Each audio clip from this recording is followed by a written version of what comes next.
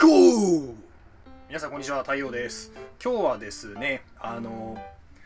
泉田くんの自転車を紹介したいと思います。えっ、ー、とまなみくんをやって東堂さんをやって今度はあの2年生の泉田くんのあの自転車を紹介したいと思います。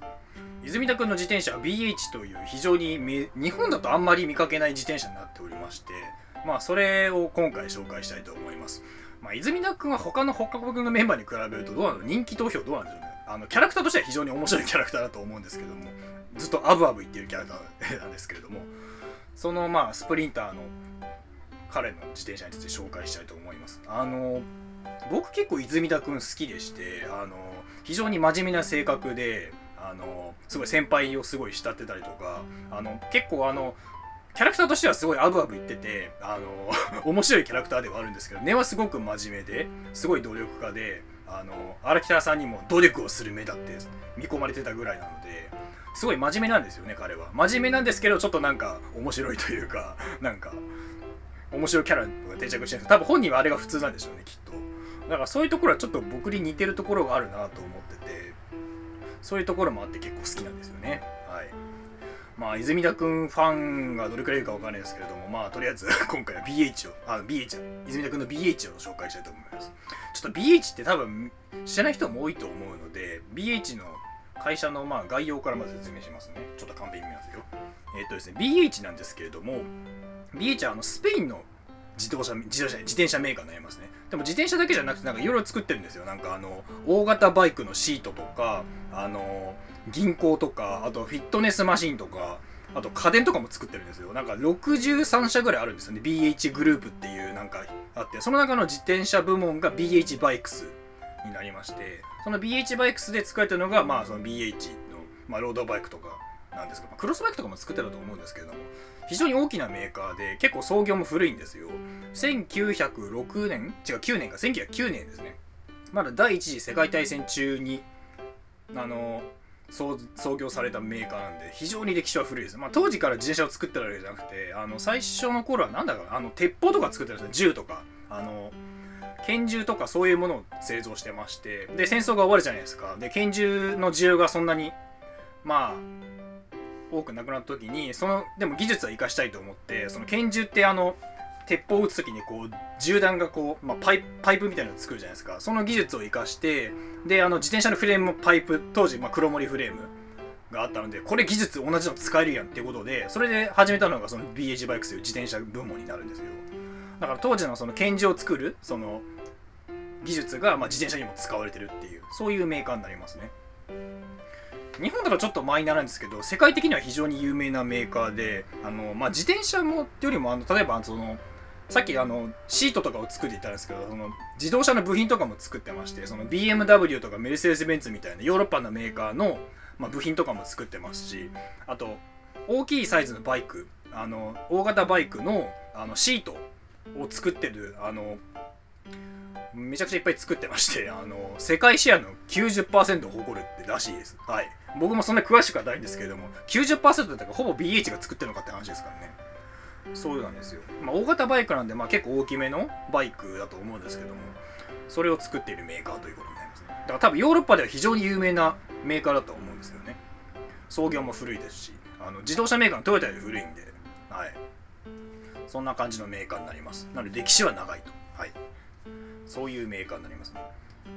ちょっと日本だと本当にマイナーなんですよね。僕も弱虫ペダルを見て、泉田君を見て初めて知ったメーカーなので、多分弱虫ペダルを見てなかったら多分一生縁がなかったメーカーだとは思うんですけれども、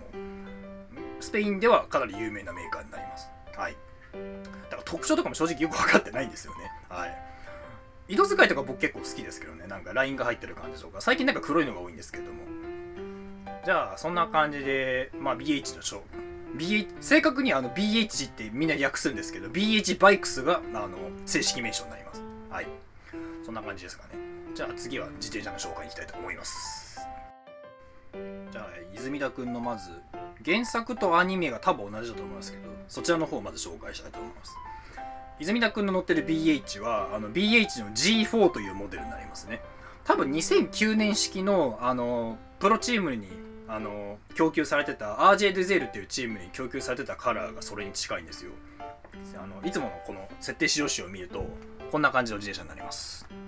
白いボディに青いラインが入っていますね。でこっち見るとロゴ消えちゃってるんですけどここにアニメだと DH って書いてあります、えー、原作はちゃんと BH って書いてあるんですけれども。こんなモデルになりますね。線画で見るとこんな感じ。特徴はあのイン調整可能な integrated シートポストがついててであのフレームが内装される前の時代でフレームがちょっと特殊な形になっててフレームになんかこうへこみみたいなものがあってその中にワイヤーを通すことで空力性能を狙ったような結構面白い設計になってます。今って結構フレームの中にワイヤー通しちゃうじゃないですか。そのワイヤーを通すんじゃなくてフレーム自体がこうなんかこの字になっててでその中をこうなんだろうフレームがちょっと普通フレームってこう平ら下平らでここにワイヤーが通ってたり中通ったりすると思うんですけどもここがこうなんかこういう風になんかへこみがあってその中にこうワイヤーが通ってるイメージですね。だから完全に内装ではないんですけれどもまあ空気抵抗を減らすためのまあ内装になる前の自転車なのでそういう形をしてるのが非常に今ではもうほぼないと思うんですけどもまあ外装並みのワイヤーの引きの軽さとワイヤー内装並みのエアロ効果を狙ったそういう感じのモデルになりますね。でインテグレーテッドシートポストもあのかなりエアロな形状をしてましてすごいあの空空気抵抗はかなりいいかなとは思いますね。まあ、2009年なので今みたいにすごいエアロロードがまだ流行る前の時代なので、まあ、ヒルクライムもできてオールダウンあの直線も速い、まあ、オールラウンダーみたいな性格ななってますね、まあ、当時はヒルクライマーヒルクライムバイクがむしろオールラウンダーみたいな感じだったんですよね。今みたいにそのスプリント専用の自転車っていうのがあまりなかった時代なので。だから泉田君はスプリンターなんですけれども自転車自体はまスプリントもできるしクライミングもできますよっていうオールラウンダーなまあジャイアントで言ったら TCR みたいなモデルになります。で BH の G4 多分これはかなりレアだと思います。僕実はここにあるんですけど後で後で見せますね。あのなかなか日本にまず入ってる数が少ないのもありますしそもそも弱虫ペダルが放送された頃はもうすでに生産が終わっていたので、まあ、中古で買うしかないのでなかなか手に入れるのは難しいと思います。でだから試乗したレビューとかもそんなに情報が残ってなくて僕の中では非常に未知のフレームになっております。ただ一つ言えることは非常に重量が軽くなっておりまして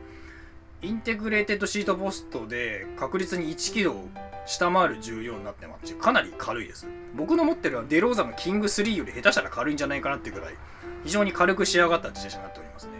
まあ今の自転車みたいにそのヘッドのベアリングがその上下で異形じゃなくて完全に両方とも同じようなところがそこら辺はちょっと時代を感じるんですけれども。ただまあそれ以外は結構なんか独特のデザインというかまあエアロがちょっと意識し始めたぐらいの感じになってますね。あのシートチューブのところもちょっとタイヤのホイールがこうちょっと避けるようになってて今のなんかサーベロみたいななんかエアロ形状とかもなってまして意外とそこら辺はちょっと当時としては革新的な形だったのかなとは思いますね。まあっていうわけであんまりちょっと自転車の性格についてはあまり語られないですけれども一応 BH の G4 の2009年モデル。こちらが泉田君の自転車になります。で今ここにちょっと持ってきてるんですけどちょっと待ってくださいね。ちょっとマイクのコードに引っかかるんですよ。よいしょ。これです。これです。カメラに入りきるかな？あのアニメだとここの黒いカーボンのところが青になってるんですけどカラーリング的にはほぼほぼこんな感じですね。ここの G4 っていうのは多分書いてなかったと思うんですけれどもこれが一番近いというか、まあ、多分間違いなくこれだろうという感じになってます。あのアニメの資料がある人がもしくはアニメ見れる人はこのこいつを見ながらアニメを見ていただくと多分あ同じやんってなると思います、まあ、アニメだと B が D になってるんですけれども。でここが調整可能なシートポストがついております。で確かあのパーツ自体パーツの紹介してなかったな。あのサドルがプロロゴのサドルがついてましてでステムとハンドルは FSA のものがついてます。まあこのこの FSA じゃないと思うんですけれどもまあ原作で FSA がついてましたね。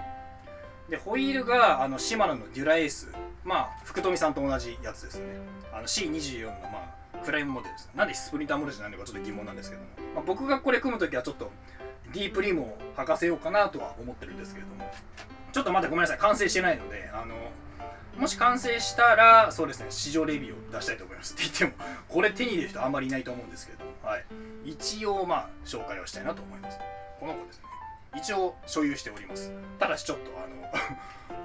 今ちょっとしょ大人の事情で組み立てることできておりません。はい。まあでもやっぱ軽いですね持ってても。全然あのハンドルとサドルついてるのに全然こう疲れないという。僕のガノーちゃんすげえ重いんですけどこいつは軽いですね。はい。とりあえずアニメ版のこれアージェルデズカラーアニメ版のやつやつはこの BH の G4 になります。G5 でもあの結構似たようなカラーがあるので G5 でもいいかもしれませんね。G5 もあの年式によっては白に青いラインが入って黒いロゴで BH って入っているモデルがありますのでそちらでも結構泉田さん泉田君っぽさが出ると思います白枠ジャージにかなりぴったりのカラーになってるのでもう完全に白と青入ってるんでなんかバーテープとか黄色にしたらもうマジで白枠になるのでそういうカスタマイズをしてもいいかもしれませんね。はい、ただ最近のモデルって白い BH ってあんまりないのでだからあの今度この次紹介するドラマ版のあの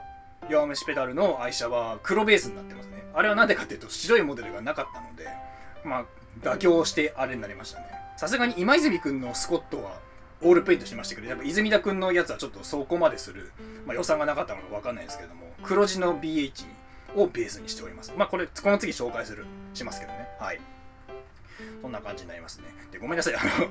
自転車のその実物の乗り味がどういうのとかごめんなさい。まだちょっと僕も乗ったことがないので分からないんですけども、まあ、持った感じフレームは軽いのとあと一応プロにあの供給されていたフレームなので当時としてはそれなりに性能は高かったと思います。はい。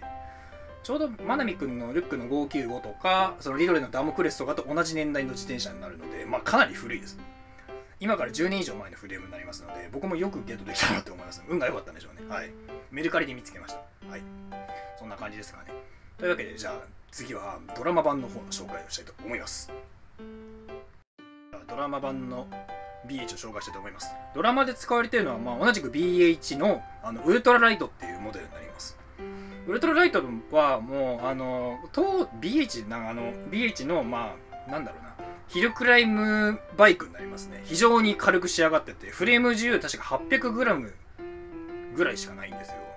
だからエモンダよりちょっと重いぐらいか、まあ、エモンエモンダのグレードによってはエモンダより軽いかもしれないですけど、まあ、エモンダの SLR よりはちょっと重いかなぐらいな感じの。まあでもそれでも軽いですよね。であの当時その黒いモデルしかなかったのであのカッティングシートで青いラインと白いラインをあのワイズロードの方がその原作を見たりとかその BH のカタログを見てこんな感じにライン入ってたら BH っぽくなるんじゃないかなみたいな感じでスタッフがこう泉田さんらしい BH を作り上げたというそういう自転車になってるのでかなりかっこいいです。これ確かあのドラマが終わった後にあのワイズロードのあの越谷店だったかな？そこ確かそこの店長があの弱虫ペダルのその撮影とかに協力してるんですよ。だからそこであのドラマが終わった後にもう機材としてはまあプロモーションとかも終わってで不要になったのでパーツをちょっとデチューンしてで実際中古自転車として売りに出されたので僕それ見に行ったので実物見たことあるんですよ。かなりかっこよかったです。さすがにちょっとあのだいぶその時間が経ってたのでそのカッティングシートとかちょっと微妙に先っぽが剥がれかけたりとかしたんですけれどもまああのドラマで見たのとまるまる同じ BH がそこにあったので非常にテンションが上がりましたね。はい。ちなみにマキちゃんのタイムとあの御堂筋御堂筋君のデローザも売ってました。はい。で東堂さんのリオで欲しかったんですけど残念ながら買えませんでした。はい。まああれはサイズが僕のやつよりちょっと1台上だったので買ったとしても乗れなかったかもしれないので、まあ、今では買わないでよかったかなと思いますであとあのこっそり言いますけど奥の方にあのマナミ君のリュックもありました。残念ながら売り切れておりました。はい。残念。まあその後でまあ今の僕のルックゲットできたので後悔はしてないですけどね。はい。まあちょっと話が脱線しましたけどもえっ、ー、と BH のウルトラライトになります。まあ軽いんですけれども一応ヒルクライムだけじゃなくてまあ直線もまあいけるぞっていう、まあ、オールラウンダーなバイクになります、ね、まあ、TCR みたいなもんですね。はい。で、そうですね、特徴としては BB が BB386 エボっていうボトムブラケット、非常に大きいやつですね。いろんなクランクに対応できるのが特徴なんですけれども、まあ 30mm のクランクも 24mm クランクもいろいろ使えるっていう、まあ非常に汎用性の高い、まあ、圧入式のボトムブラケットがついております。で、それにシマノのデュラエースの C50mm、まあハイトがちょっと高いエアロタイプのスプリンター向けのホイールをつけて、まあスプリンターっぽい自転車に仕上がってますね。非常にかっこいいです。でコンポーネントはシマノの105の5800がついておりましてで原作と同じサドルのプロロゴのサドルがついててでステムとかハンドルとかは FSA で統一されてるっていう。非常にかっこいいバイクに仕上がっておりますね。僕もこの BH 表現したいなと思ったんですけれども。まあせっかく原作版に近い BH が手に入ったので、まあ、これを再現することはまあないかなと思います。まあもし何かあってゲットできたら僕もカッティングシートかマスキングをしてこの BH を再現したいなと思っておりますけれども。はい。非常にかっこいいですよね。でもあんまり BH って走ってるの見たことないんですよね。日本だとちょっと代理店が少ないのもあって最近ちょっと日本の代理店ができたと思うんですけども当時だから2009年で多分まだなかったと思うんであの僕が持ってる BH を買った人は個人で輸入したことになるのかな。そうするとかなりレアモデルですよね。だからめったにないと思います。泉田君すげえなと思いますね。はい。でごめんなさい。この BH のウルトラライトも僕残念ながら乗ったことないのであの実際どうだったよっていうのはちょっと分かりません。ごめんなさい。はい。でも BH ってなんか軽量バイクがなんか強いイメージがありますよね。はい。まあ自分の BH が仕上がったらちょっと乗ってみたいなと思います。そんな感じですかね。ちなみにボトルケージはエリートのカスタムレーサーがついております。まあこれはまあ別にいいか。そんな感じですかね。バーテープを白くした方が泉田君っぽくなるかな。でもアニメだとあの確かバーテープ黒だったような白だったかな。バーテープが白でサドルが黒かったのかな。ドラマ版ではサドルもバーテープも白で統一されてるんですけれども、まあ、僕はサドルもバーテープも白でいきたいなと思っておりますけれどもここら辺でキャラクターを出すのもいいのかな。僕は基本的に白が好きなのではい。そんな感じですかね。というわけでドラマ版の、えー、泉田君の自転車は、えー、BH のウルトラライトでした。はい。あのドラマのホームページ、あの、弱虫ペダルドラマで Google 検索すると、そこでロードバイク紹介っていう画面があって、そこをポチッとクリックすると自転車が全部載ってるので、そこで確認、詳しいとこ確認してもらえば、まあ、再現するのに、まあ、参考になるかなと思います。はい。そんな感じですかね。はい。じゃあ最後に泉田君のヘルメットを紹介したいと思います。泉田君のヘルメットは、あの、日本のブランドのあの OG 系カブトの、えー、レフ、レフだったかな？レフっていうあのヘルメットが使われてます。あの、別にハイエンドモデルじゃなくて、どっちかっていうとなんかあのエントリー向けのヘルメットで、まあ、かぶりやすいんですけれども、すごいあの軽いとか、すごいなんかかぶり心地がいいとか、ではなくて、割と、あの、街乗り用のヘルメットとしても使えるように、ここにこう、サンバイザーがつけるような穴が開いたりとか、サンバイザーもともとついてたと思うんですけども、そういうヘルメットになりますね。だからドラマ版では、あの、名前ちょっと、ど忘れた、なんだっけな、あの、同じ OGK のもっと、あの、あまりにもエントリーグレードすぎるっていうことで、ちょっとハイエンドモデルが使われてましたね。何だったかな？えっ、ー、と、OGK のモストロかな？モストロ R。こんなやつ。モストロ R ってやつが使われてましたね。はい。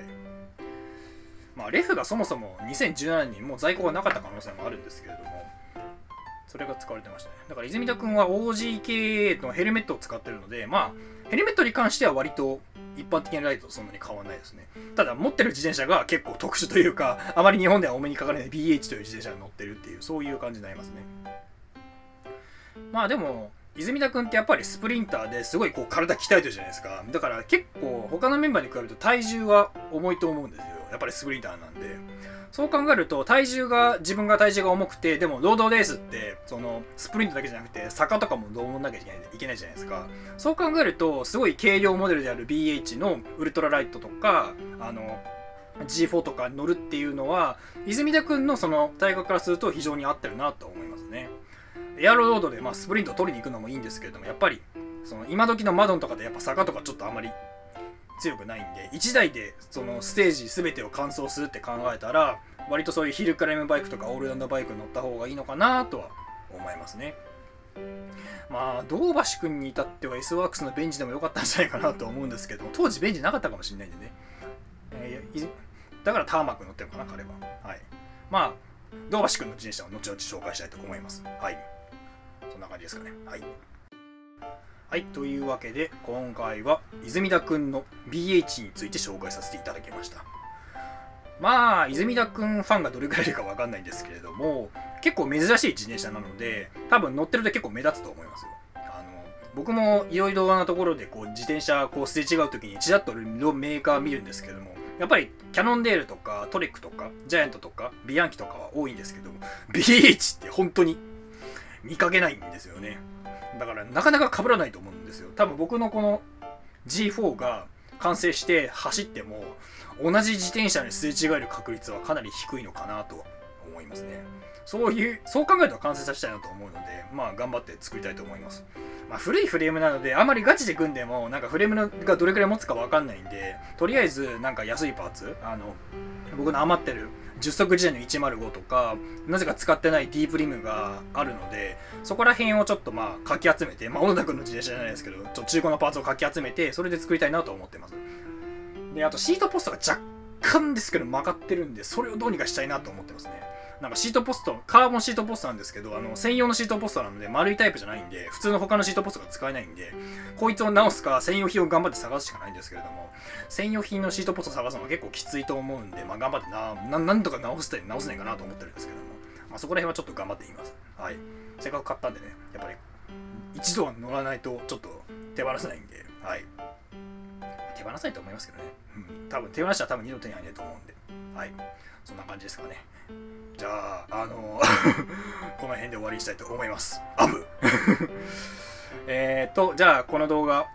面白かったよとか、あの、また他のキャラクター見てるの見たいよと思ったらぜひグッドボタン、チャンネル登録の方もよろしくお願いいたします。アブ。はい。それでは次回の動画もお楽しみにじゃあねーアブレディゴー